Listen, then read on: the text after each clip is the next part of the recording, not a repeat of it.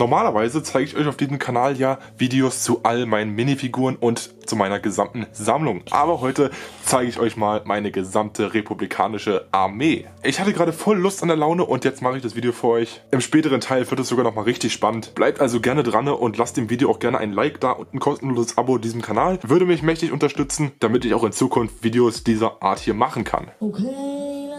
Okay, die Fraktion, die Republik. Ich glaube, für viele hier meiner Zuschauer und mich eingeschlossen ist einfach die Republik die Fraktion, die man gerne unterstützt, die man gerne hat in seiner Sammlung und die man vor allem auch in Masse sehen will. Jetzt fragt ihr euch natürlich, Visible Brick Studios, warum sind hier nur diese Clone Trooper? Ja, das sind jetzt nur meine Clone Trooper von der 501. inklusive ein paar extra Figuren. Also alles, was ihr hier sehen könnt, ist 501.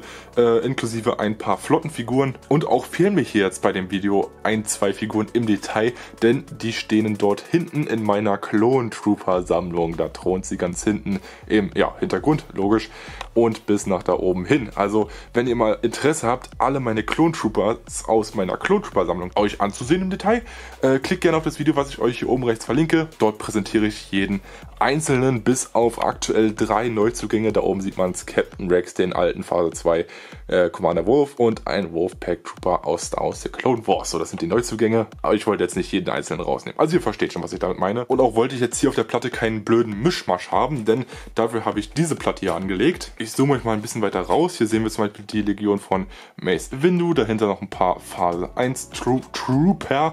Hier vorne die Schocktruppen, die ich noch so übrig hatte. Hier die 212. Man merkt wirklich, 501. ist einfach bei mir sie ist am meisten da, sagen wir es so. Dann hier ein paar Kashyyyk Trooper und da hinten Geonosis Truppler. So, sie sind da, sie existieren. Ich habe natürlich auch die entsprechenden Sets. Und dann würde ich sagen, fangen wir einfach mal bei den Minifiguren an und arbeiten uns dann durch die gesamten Sets durch. Starten tun wir vorne mit Anakin Skywalker. Ich habe mich jetzt mal für die Clone Wars Variante entschieden, denn das ist auch das erste Mal, wo ich halt Anakin Skywalker gesehen habe, bei Star Wars The Clone Wars nämlich. Äh, links davon ähm, Commander Vaughn oder was? Captain, nee, Captain Vaughn war es gewesen. Daneben äh, Captain Rex auf der rechten Seite, das ist der neuere Captain Rex. Und links und rechts hier stehen jeweils zwei normale Klonoffiziere aus dem 501st Specialist Battle Pack dachte ich mir so, sehr ganz cool aus als Führungsebene. Theoretisch müsste noch Kanzler Palpatine dahin, aber den habe ich jetzt in der Schnelle leider nicht gefunden. Okay, dahinter befinden sich ein paar Heavy Trooper, um genau zu sein, fünf Stück an der Zahl, ebenfalls aus dem Specialist Battle Pack. Dann hier links steht Admiral Yularen, der einzige Klonoffizier. Also ist ja kein Klon, aber er gehört halt zum Offiziersregiment zur Clone Wars Ära hier in dem Fall. Dahinter ein paar Flottensoldaten. Ich nenne die jetzt gerne Flottensoldaten, weil die sind halt komplett blanko und die hat man dann in Phase 2 eher auf Sternzerstörern oder Venator-Klassen gesehen. Und dann hier rechts haben wir das 332. Regiment, wollte ich schon sagen. Nein, es ist die Kompanie. Und es ist eine Kompanie eben aus der 501. Deswegen stehen diese Truppler hier. Dahinter haben wir zwei Sniper und ganz weit hinten stehen dann fünf von den Jet-Trupplern. Die sind aus dem 501st Battle Pack, also dem alten. Ich weiß jetzt gar nicht mehr genau, wie das heißt. Ich glaube, es hieß 501st Legion Pack. Und aus diesem stammen natürlich auch all die normalen Klontruppler der 501. hier hinten. Vorne sind nochmal fünf Stück mit Gewehren und dahinter sind ein Haufen von Clone Troopern ganz normal Blanco mit dem kleinen Blaster. Ich meine, ein, zwei sind auch aus dem Magazin dabei. Ich bin übrigens noch sehr froh, eines dieser Battle Packs hier original verpackt zu haben. Die haben mal 30 Euro gut gekostet. Ich glaube, im Rabatt hat man die auch für teilweise 25 bekommen. Heute findet ihr die auf Ebay. Ich glaube, das günstigste, was ich neulich gesehen habe, waren 35 Euro original verpackt. Also es ging schon mal schlimmer, es ging aber auch schon mal deutlich besser. Man merkt, dieses Pack ist beliebt. By the way, ihr könnt auch auf Ebay übrigens Gunships kaufen aus diesem Battle Pack. So oft gab es die. Okay, haben wir die Clone Trooper jetzt als einzelne Minifiguren abgehakt. Starten wir mal mit den ganzen Sets. Und da sehen wir hier zuerst mal einen Haufen Speeder, wer jetzt gedacht. Hier vorne, das ist ein ganz alter Speeder aus dem allerersten Clone Trooper Battle Pack. Habe ich auch ein Review dazu gemacht. Schaut es euch gerne an. Dann hier rechts ist ein Speeder aus äh, dem gleichen Set, wo auch die, ja, stehen jetzt gerade hier, aber wo die Bomb Squad Trooper drin waren. Dann hier drei von den Speedern aus diesem Battle Pack oder was ich euch gerade eben gezeigt habe. Die dazugehörigen ATRTs stehen da auch nochmal. Das gleiche oder fast das gleiche haben wir hier auch nochmal auf der rechten Seite, nur dass hier nochmal ein paar von den äh, Speederbikes drin sind, die ja eine Neuauflage von diesen Speeder hier sind. Ein totaler Knüller, was Lego hier so alles neu rausgebracht hat, nicht wahr? Okay, und dann meine beiden Prunkstücke hier vorne sind die ATTEs. Der hier links aus dem Jahre 2014 und rechts davon der aus dem Jahre 2000 und lass mich lügen, 23? Oder ist der schon älter? Auf jeden Fall sagen wir einfach mal schlicht und ergreifend, es ist der neue. Okay, dahinter stehen nochmal ein paar AT-RTs und Swamp Speeder, welche von dem Kashyyyk Trooper Battle Pack und von den 332. Legion Troopern in der Mitte dort noch eine Klon-Kommandostation aus dem Battle Pack Clone Troopers vs. Droidicast. Dann dahinter wiederum, boah, da muss ich erst mal rankommen hier. A few minutes later. Oh, mal eben aufgerichtet sind die ganzen kleinen Mini-AV7 Kanonen. Hier noch zwei alte aus dem Arc Trooper Battle Pack und da hinten die drei sind aus dem 501 Specialist Battle Pack. Direkt darüber ist mein absolutes Highlight der Sammlung, finde ich. Ist, das ist nämlich der Venetar Sternzerstörer oder Venetar Star Cruiser. Ich bin so an den Begriff Sternzerstörer gewöhnt, das ist furchtbar. Dann haben wir hier ein Set, welches ich eigentlich niemals haben wollte, aber dann doch zu Geburtstag geschenkt bekommen habe. Und zwar ist es der Ah, ich vergesse immer den Namen. Immer wenn, wenn dieses Set in einer meiner Videos vorkommt, vergesse ich immer den Scheißnamen und der fällt mir erst im Nachhinein ein. Deswegen nenne ich ihn jetzt hier erstmal Juggernaut. Oh, wie war denn nochmal der Name? Es war Republic, Republic, nee, Fighter, Fighter Tanks. Zu den, äh, zu den Fighter Tanks kommen wir jetzt, ne? Das sind die drei hier, das sind die drei neueren. Ich habe nämlich keine anderen Fighter Tanks. Einen habe ich auch noch original verpackt irgendwo rumstehen. Das hier war ein Republic. Mann, ey. Ey, ich verzweifle hier komplett, das geht doch nicht. Okay, lassen wir das beiseite. Äh, dann hier meine Klonsammlung. Wie gesagt, schaut euch da mein separates Video gerne dazu an. Und hier ein vor kurzem vervollständigtes Set, die Republic Frigate. Ein unfassbar gutes Set, wir brauchen eine Neuauflage davon. Und ja, jetzt im Allgemeinen denkt ihr euch, ja, war's das schon? Nee, das kommt noch ein bisschen was. Denn ich bin natürlich auch im wunderschönen Besitz von zwei Gunships. Einmal dem Coruscant Guard Gunship und dem normalen Gunship. Und inzwischen stehen noch ein paar Jedi Starfighters und wie gesagt, es hat jetzt alles nicht da unten Platz gefunden, wobei ich auch die Jedi Starfighters nicht so wirklich zur Republic äh, Clone Army dazuzählen würde. Und ein Freco Speeder, ein einzelner Freco Speeder steht noch rum, mein allererstes Lego Star Wars Set. Kommen wir nochmal ganz kurz auf die Minifiguren zu sprechen, denn wie ihr sehen könnt, ja, die Platte, die hat Potenzial mehr aufzunehmen. Und ich selber bin halt einfach ein Freund von großen Klonarmeen. Deswegen, ihr stimmt mir sicherlich zu, wir müssen was dagegen tun. Oder ich muss was dagegen tun. Ganz genau, seht mal kurz zu.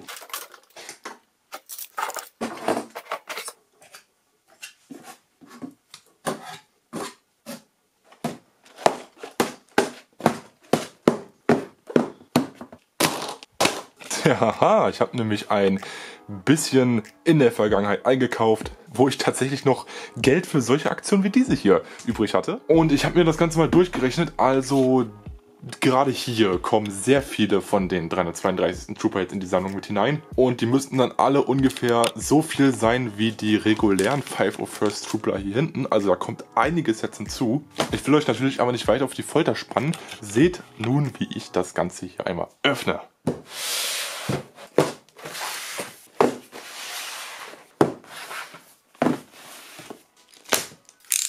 Oh boy, ich fühle mich, als wäre es gerade Weihnachten. Dabei haben wir gerade noch Anfang Oktober.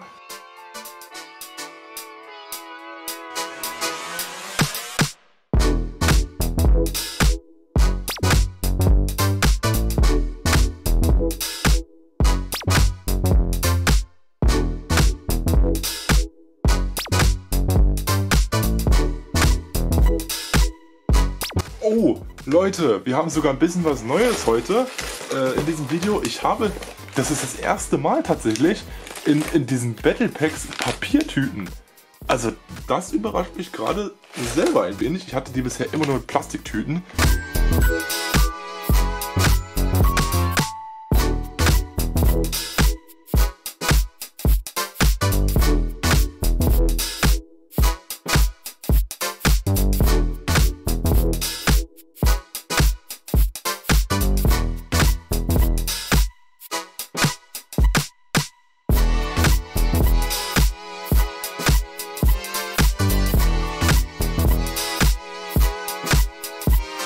Sehen, ob ich heute irgendwo auf dem Helm irgendeinen Missprint finden könnte. Das wäre äh, richtig cool, weil ich habe keinen einzigen Missprint auf einem Clone Trooper Helm. Übrigens könnt ihr mir ja mal in die Kommentare schreiben, ob ihr dasselbe hier für die Separatistenarmee sehen wollt. Denn offensichtlich, ich habe halt jetzt eine Menge Druiden übrig.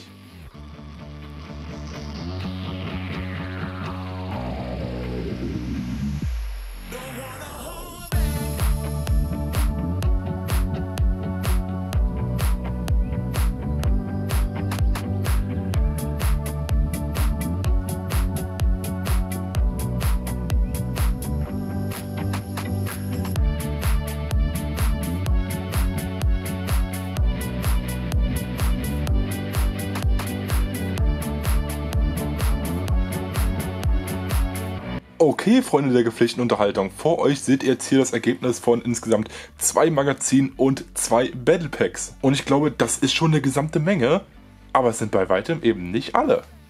Denn das hier sind alle und ja, ich habe nachgezählt, es sind insgesamt 44 Klontruppen, die ich hier jetzt in meiner Sammlung hinzufügen darf. Grüße gehen übrigens an der Stelle raus an die 12 Millionen Commander, äh, ich meine natürlich Captain Wars, die ich hier jetzt in meiner Sammlung, ja, besitze. Cool, ich liebe, ja, benannte Charaktere im Battle Pack. Es geht doch nichts über benannte Charaktere. Ja, besonders hervorstechend ist jetzt Ahsokas Legion, aber wie gesagt, sie sind ein Teil der 501. und deutlich kleiner als die gesamte Legion. Deswegen bin ich schon froh, dass ich diese Kompanie eventuell sogar realistisch irgendwann in Lego umsetzen kann. Ich für meinen Teil werde jetzt erstmal alle 44 Klone hier auf diese Platte drapieren und dann hören wir uns gleich nochmal wieder.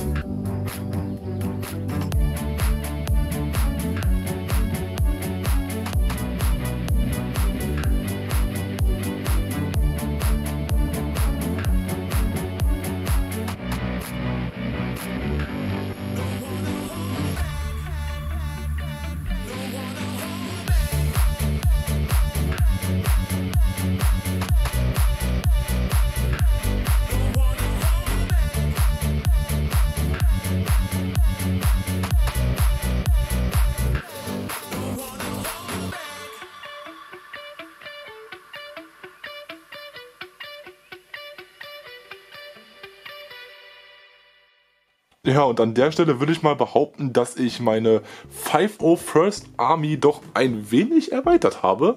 Gerade wenn wir an die Kompanie der 332. denken. Und die ganzen Captain Wars, ich bin begeistert. Ich habe jetzt von den Dingern sieben Stück, also wie Sand am Meer. Und da hinten auch meine Blanco Flottentruppen. Oh, sieht das schön aus. Und auch die beiden Five of First regulär haben sich wunderbar in Reihe und Glied eingefügt. Und diese Massen an Jet-Trupplern, klar, man kann das Jetpack abmachen und dann sind es reguläre Truppen. Also das ist schon... Ich finde es cool, ja. Und, und natürlich, es äh, sind auch die Schocktruppler nicht zu kurz gekommen. Die haben Platz bei ihrer Familie gefunden. Das sind ja vier neue Stück jetzt dazugekommen. Stehen jetzt da hinten mit den Visoren. Cool. Also ein Mock mit Schocktruppen kann auf jeden Fall demnächst mal in der Zukunft kommen. Okay Leute, und an der Stelle möchte ich das Video jetzt auch beenden. Ich hoffe, es hat euch soweit gefallen. Wenn ja, lasst es mich wissen. Wenn ihr diese Videos nicht mehr verpassen wollt, denkt daran, den Kanal zu abonnieren und die Glocke zu aktivieren. Und eventuell ist ja das nächste Video dieser Art dann mit dem Separatistenregiment oder eventuell auch mit dem ganzen Imperium. Wer weiß das schon. Aber wir hören uns erstmal im nächsten Video, Freunde. Bis dahin. Ciao, ciao.